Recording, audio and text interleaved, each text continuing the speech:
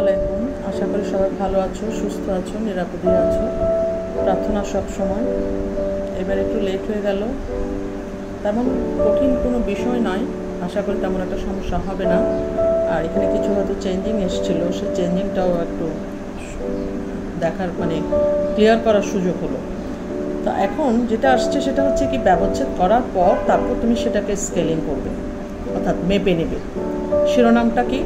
হাতে কলমে একটি ফুলে সেটা তুমি জবা ফুল নিতে পারো, তুমি অপরাজিতা নিতে পারো, তুমি আরও যে কোনো ফুল মানে গোলাপ নিতে পারো, ফুল নিতে পারো হ্যাঁ? তারপর আরও আরও যে সমস্ত ফুলগুলো আছে, যেগুলো হয়তো তোমাদের আশেপাশেই আছে, ধতুরা নিতে পারো। আশেপাশে যে ফুলগুলো আছে, সেখান থেকে ফুল নিয়ে তারপর সেটাকে ব্যবচ্ছেদ করার পর প্রতিটা পার্ট দেখো এখানে আলাদা করে চিত্রটা যদি আমি দেখি যে স্ক্রিনে যে প্রত্যেকটা পার্ট আলাদা করে দেওয়া আছে, পাপড়িগুলো দেওয়া আছে, ওখানে বৃত্তিগুলো দেখা যাচ্ছে, ওখানে পুঙ্কেশ্বর দেখা যাচ্ছে। শুধুমাত্র এখানে স্ত্রীকেশ্বরের বিষয়গুলো হয়তো ওপেন করা নেই, এটা আমরা পরের চিত্রে দেখব। তো এগুলো তুমি আলাদা আলাদা করে স্কেল নিয়ে মেপে দেখবে। আমি এখানে কোনো স্কেলের ছবি দিচ্ছি না, তুমি চাইলে তোমার ড্রর ওখানে তুমি স্কেলের ছবি দিতে পারো একটা। ছবি তুলে দিয়ে দিতে পারো। মেন কথায় আসি, এটা এসএসসি দুই হাজার একুশ জীববিজ্ঞান অ্যাসাইনমেন্ট পাঁচ, অধ্যায় এগারো জীব প্রজনন দুশো তেত্রিশ থেকে দুশো উনচল্লিশ পৃষ্ঠা পড়তে বলা হয়েছে। আর কয়টা কাজ সেটা একটু ক্লিয়ার করে দিই। প্রথম হচ্ছে কি, তুমি ফুলটা নিলা, নিয়ে সেটাকে ব্যবচ্ছেদ করলা। এই যেখানে যেভাবে আছে, সেভাবে ব্যবচ্ছেদ করে নিলা। তারপর তুমি স্কেলিং করবা, মেপে নিবা, কোনটা কতটুকু আছে। মাপার পর তোমাদের এটা একটা কাজ মানে ছবিটা প্রত্যেকটা পার্ট আলাদা আলাদা করে আঁকতে পারো বা একসাথে নিয়ে এঁকে যেভাবে আমি এঁকেছি সেভাবে আঁকতে পারো। এঁকে সেটাকে ল্যাবেলিং করা। অর্থাৎ ব্যবচ্ছেদকৃত ফুলের বিভিন্ন স্তক ল্যাবেলিং করা। এটা একটা কাজ। এটা এক নাম্বার, একটা নাম্বারে গেল। তারপর আসো ফুলের বিভিন্ন বৈশিষ্ট্য। আমি প্রশ্নটা এখানে দেখাচ্ছি না, কিন্তু বলে দিচ্ছি। যেহেতু এটা আমি করেছি, যেহেতু আমার মাথায় আছে, ফুলের বিভিন্ন বৈশিষ্ট্য লক্ষ্য করলে ওখানে দেখবা যে দুইটা বা একটা বৈশিষ্ট্য লিখতে বলছে। এখানে কিন্তু লেখালেখির কাজ তেমন একটা নেই। প্র্যাকটিক্যালটাকেই শুধু সেট করে দেওয়া। তো ফুলের বিভিন্ন বৈশিষ্ট্য, দুইটা থেকে দুইটা দাও বা একটা দাও, এটা একটা কাজ। থার্ড কাজ ছিল থার্ড থার্ড কাজ যেটা হচ্ছে সেটা হচ্ছে এই যে ফুলটার, এই ফুলটার পরাগায়ন মাধ্যম এবং তার ব্যাখ্যা, তাও একটা নির্ধারিত করে দেওয়া হয়েছে যে এত থেকে এত শব্দের মধ্যে লিখতে হবে। এই হচ্ছে আজকের কাজ। আশা করি তেমন একটা সমস্যা হবে না। তাহলে কাজে আমরা কাজ শুরু করি।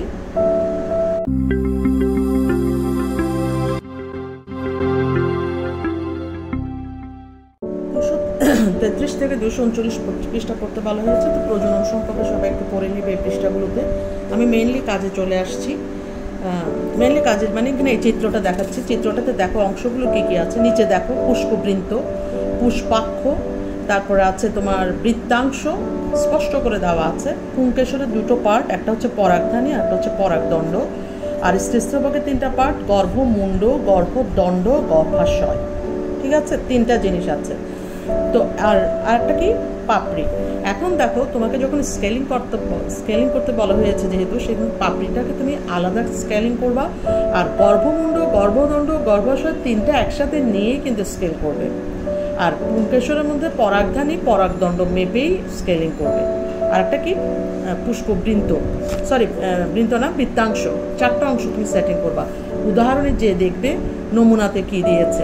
নমুনাতে যেগুলো যেগুলো স্কেলিং করতে বলে সেগুলো স্কেলিং করবে।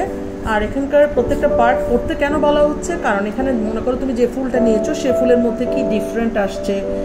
ডিফারেন্ট আমি একটু পরেই বলছি কীরকম ডিফারেন্ট আসতে পারে। সে ডিফারেন্টটা দেখার জন্য কিন্তু এগুলো সব ডিটেলস পড়তে বলা হয়েছে। ঠিক আছে? যেটা খুব মনোযোগী হয়ে দেখবে। তার আগে একটু বলে দিই যে আমরা একটু আগেই বলেছি যে পুঙ্কেশ্বরের দুটো অংশ, একটা হচ্ছে পরাগধানী একটা হচ্ছে পরাগদণ্ড। ঠিক আছে? এখানে একটা দণ্ড আছে। পরাগধানী আছে। এখন পরাগধানীটা কি? এটাও একটু জেনে রাখতে হবে, কারণ পরাগধানীর মধ্যে পরাগ উৎপন্ন হয় আমাদের লাস্ট প্রশ্নটা কিন্তু এটার সাথে রিলেটেড এই পরাগরেণুটা অঙ্কুরিত হয়ে কি তৈরি করে? পরাগনালী তৈরি করে হ্যাঁ? এই পরাগ নালিকার মধ্যে আবার কি তৈরি হয়? পুংজনন কোষ তৈরি হয়।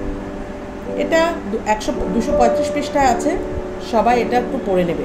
আর একটা বিষয় যেটা আসছে, যে পরাগথলিগুলো কখনো পরস্পরের সাথে যুক্ত অবস্থায় থাকে দেখো পুঙ্কেশ্বরের বিভিন্ন প্রকার সজ্জা একগুচ্ছ, দ্বিগুচ্ছ, বহুগুচ্ছ যুক্তধানীর দললগ্ন। প্রথমটা হচ্ছে একগুচ্ছ অবস্থায় আছে, তারপরটা হচ্ছে দ্বিগুচ্ছ আছে, বহুগুচ্ছ আছে, তিন নাম্বার। চার নাম্বারে যুক্তধানী, অর্থাৎ একটার সাথে একটা কীভাবে আছে, যুক্ত করা আছে, দললগ্ন অবস্থায় আছে, লাগানো আছে। তাহলে এই বিষয়গুলো, এই জন্য বলছিলাম যে তুমি যখন ফুল নিবা, তখন তোমার স্ট্যান্ডার্ড মানে সিস্টেমটা কেমন সেটা দেখে নেবে। যদিও এটা এখানে লিখতে বলা হবে ফুলের বিভিন্ন বৈশিষ্ট্যের ওখানে যদি পয়েন্টগুলো থাকে, তাহলে অবশ্যই লিখে দেবে। এটা একটা গেল। আবার দেখা যায় কি স্ত্রী কেশরের ক্ষেত্রেও আমরা দেখতে পাই যে স্ত্রী কেশরের মধ্যেও একা, এক বা একাধিক গর্ভপত্র থাকতে পারে। একটা গর্ভপত্র তিনটা অংশ, সেটা আমরা একটু আগেই বলেছিলাম, গর্ভমুণ্ড, গর্ভদণ্ড, গর্ভাশয়। তো এখন আবারও বলছি, স্ত্রী স্ত্রভাগে এক বা একাধিক গর্ভপত্র নিয়েও গঠিত হতে পারে। ঠিক আছে আর এখন বিষয়গুলো অবশ্যই তোমরা জেনে নেবে। কারণ পৃষ্ঠাগুলো পড়তে দেওয়া হয়েছে যে তুমি তোমার ফুলের মধ্যে এখানে স্ত্রীকেশরের পজিশনগুলো কীভাবে পেলা, আবার পুংকেশরের পজিশনটা কীভাবে পেয়েছ, সেটা একটু দেখে নিলে বেটার কারণ তুমি যখন মাপতে যাবে, তখন সে স্ট্যান্ডার্ডেই এটাকে সেটিং করতে হবে। ঠিক আছে? এইটুকুই। লকডাউনের আগে যে তালিকাটা ছিল, সবার মনে আছে কিনা আমি জানি না, যে জৈব বিজ্ঞানের তালিকাভুক্ত এটা একটা ব্যবহারিক ছিল। এটা আবার দেওয়া হয়েছে। তো এই এই ব্যবহারিকের মধ্যে দেখো যে প্রত্যেকটা পার্ট আলাদা আলাদা করে, তোমরাও মনে হয় করেছিলে প্র্যাকটিক্যাল খাতায়। ঠিক এখানে আলাদা আলাদা করে দেওয়া আছে। তুমি যদি চাও যে ফুলটা এভাবে লিখে, এভাবে সেটিং করে দেবা, অবশ্যই দিতে পারবা। যেমন দেখো এখানে আলাদা করে স্ত্রীকেশর আলাদা করে পুমকেশর বৃতি হ্যাঁ প্রত্যেকটা আলাদা করে দেওয়া হয়েছে। কিন্তু সেটা হচ্ছে ওখানে ওনারা যা যা চেয়েছেন তাই দেবে। এখানে একটু এক্সট্রা কিছু আছে এক্সট্রা কিছু দেওয়ার দরকার নেই। এটা আলাদা আলাদা করে দিয়ে তুমি স্কেলিং করতে পারবে ছবি এঁকে। আবারও বলছি, তুমি যে ফুলটা নিবা, সে ফুলটাকে তুমি নিলা নিয়ে সেটাকে তুমি এটা ব্যবচ্ছেদ করা এমন কোনো কঠিন কাজ নয়। আলাদা আলাদা করে প্রত্যেকটা পাপড়ি খুলে নেওয়া, তারপর ওখানে কেশরের বিষয়টা বের করে নেওয়া। হ্যাঁ এগুলো কিন্তু অনেকে করেছ আগে, তো সেই হিসেবে নিজেরাই পারবে, কোনো সমস্যা নেই, সেজন্য আমি আর দেখাইনি। তো এই বিষয়গুলো তুমি এভাবেও সেটিং করতে পারবে। কোনো সমস্যা নেই। তোমার মতো করে তুমি সেটিং করবে, কিন্তু প্রশ্নের যা যা চেয়েছে তাকে বেস করে। আবারও বলছি প্রশ্নে যা যা চেয়েছে তাকে বেস করে কাজগুলো করবে।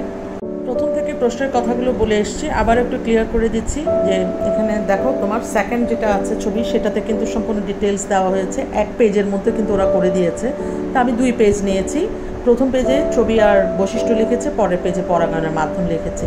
তুমি যদি এক পেজেও করতে পারো ইটস ওকে খুব মনোযোগী হয়ে কথাগুলো শুনলে সবাই জিজ্ঞাসা করো, এক ভিডিও দেওয়ার পর আবারও বলছি যে তোমাদের যে নমুনা দেওয়া হয়েছে ওনারা একই পেজে সেটিং করে দিয়েছে। মানে এক সাইড একটা জায়গাতে সেট করে দিয়েছে। চাইলে কিন্তু এটা করা যায়। কিন্তু যেহেতু একটু ল্যাবরেটরি সুন্দর করে করার জন্য, এক, এই তিনটা পার্টকে দুটো পৃষ্ঠায় করলে বেটার তা আমি প্রথম পেজের মধ্যে ছবি এঁকে লেবেলিং করেছি, তারপর তোমার সেখানে স্কেলিং করেছি। আর পাশে ফুলের বিভিন্ন বৈশিষ্ট্য লিখেছি, যেটা আমি নিয়েছিলাম। ঠিক আছে? পরের পেজে শুধুমাত্র আমি মাধ্যম লিখেছি।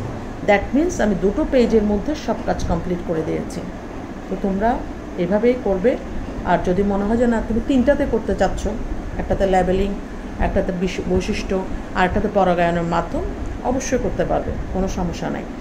আচ্ছা এখন আমি চলে আসছি যে এখানে আমি কীভাবে কী করেছি। আমি যে ফুলটা নিয়েছিলাম, জবা ফুল, সে ফুলটার পাপড়িটাকে আমি আলাদা করে নিয়ে একটা বিষয় একটু বলে রাখি যে আসলে কিন্তু পাপড়িটা যত সেন্টিমিটার সেটা আমরা হয়তো ড্র করে নিই একটা একটা নমুনা করে তারপর আমি সেটাকে স্কেলিংটা আমি যখন ব্যবচ্ছেদ করেছিলাম তখন করে নিয়েছিলাম, আলাদা করে নোট ডাউন করে রেখেছিলাম।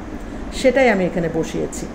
তাহলে এখানে দেখা যাচ্ছে কি হচ্ছে সিক্স পয়েন্ট ফোর সেন্টিমিটার আমার বৃত্তিটা হচ্ছে ওয়ান পয়েন্ট এইট তারপর তোমার স্ত্রীকেশর হচ্ছে তোমার সেভেন পয়েন্ট ওয়ান সেন্টিমিটার আর পরাগধানী সরি পুংকেশর একসাথে পুংকেশর হচ্ছে সিক্স পয়েন্ট ফাইভ সেন্টিমিটার এই চারটা জিনিস ছিল, চারটা জিনিসের সেটিং করেছে। এখানে একটা দাগ দেওয়া আছে, সেটা কী হবে সেটা তো তোমরা বুঝতেই পারছ। আমি এটা লিখি নাই, এটা লিখে তোমরা লিখে দিবে। বৃন্ত বিষয়টা এটা লিখে নেই, এটা তোমরা লিখে দিবে। ঠিক আছে? এই গেল আমার চিত্র, আঁকা লেবেলিং এবং স্কেলিং এই সাইড চলে গেছে। এরপরে দেখো ফুলের বিভিন্ন বৈশিষ্ট্য। আমারটা ছিল খুবই উজ্জ্বল এবং লাল। গন্ধ তো নাই, জবা ফুলের আকৃতি অনেক বড় ছিল আর বিস্তৃত ছিল। হ্যাঁ আর আমি যেখান থেকে নিয়েছিলাম, ফোটার সময় আমি ওনাদের থেকেও জিজ্ঞাসা করেছিলাম, আর আমরা নর্মালি জানি এটা অনির্দিষ্ট ফোটার কালটা। স্তবকের আপেক্ষিক অবস্থান, যেখান থেকে নিয়েছে এটা কিন্তু ঝুলন্ত অবস্থায় ছিল। আর তুমি যদি দেখো যে গাছের শাখায়ও কিন্তু উদ্ভিদের শাখার প্রান্তে অবস্থিত থাকে ফুলগুলো। আমি ছবি দেব। নেকটার নেকটার সম্পর্কে তোমাদের একটা সংজ্ঞা দেওয়া হয়েছে কিন্তু যে এটা হচ্ছে আসলে এক প্রকার রস যেটা পরাগায়নের মাধ্যমে পরাগায়ন করে যে প্রাণীটা আসবে রসটাকে অ্যাকসেপ্ট করে। এটাকে ফুলের মধু বলা হয়। তো আমার ফুল অনুযায়ী আমি বৈশিষ্ট্যগুলো লিখে দিয়েছি। তুমি তোমার ফুল অনুযায়ী লিখবে। এখন আসছে লাস্ট কোয়েশ্চেনটাতে পরাগায়নের মাধ্যম ও তার ব্যাখ্যা। তো আমি এখানে প্রথমে পরাগায়নকে একটু এক্সপ্লেন করেছি। যে পদ্ধতিতে ফুলের পরাগধানী থেকে পরাগরেণু, সে ফুল বা অন্য ফুলের অথবা একই প্রজাতির অন্য কোনো উদ্ভিদের ফুলের গর্ভমূল্যে স্থানান্তরিত হয়, তাকে পরাগায়ন বলে। উপরোক্ত সংজ্ঞানুসার যদি আমরা দেখতে যাই, পরাগায়নটা দুই প্রকার, একটা হচ্ছে স্বপরাগায়ন আর একটা হচ্ছে পরপরাগায়ন। আমরা জানি স্বপরাগায়নটা কি?